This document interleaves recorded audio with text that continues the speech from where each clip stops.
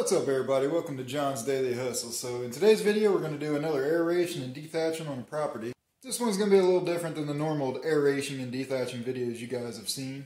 On this channel anyways. And really what I mean by that is I'm not going to be using my AgriFab pull behind aerator. Unfortunately this place has a really small backyard. Or at least I should say a really small gate to get in the backyard.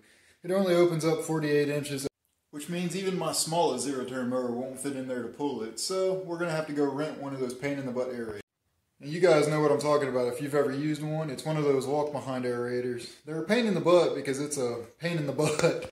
Real quick before we jump into it, I did get slow motion videos just like I did for the other aeration dethatching in case you guys haven't seen it yet or not. I may have already uploaded it, but anyways, I did get some slow motion footage of it and you guys will really be able to see in that slow motion how hard packed the ground is, how hard and dry it is. Because you really can't even see the cores being thrown up because how hard packed and dry. They just disintegrate and it doesn't dig that much of a core because the ground is just, like I keep saying, it's hard, very hard packed and very dry.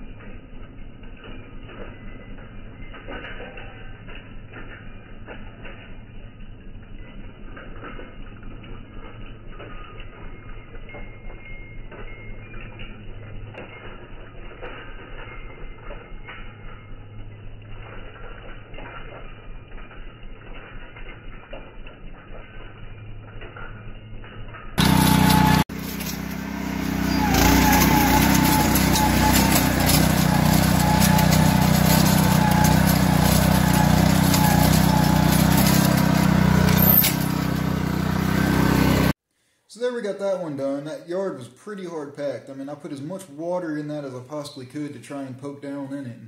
It just wasn't penetrating the ground quite like it really should. It's just real rocky and very hard packed. It's the way a lot of the grass is, or the way a lot of the yards are out here anyways. Now that customer had his own seed, and he's actually going to spread it down right after I left, and then he's going to water it and everything. So he did already tell me he's going to hire me again in the springtime as I recommended it to him, that we should probably aerate it in the springtime one more time just before the season gets going to maybe try and break that ground up a little bit more. And worst case scenario, I might have to bring in some topsoil and top dress it, or compost it and mix topsoil, whatever you want to call it.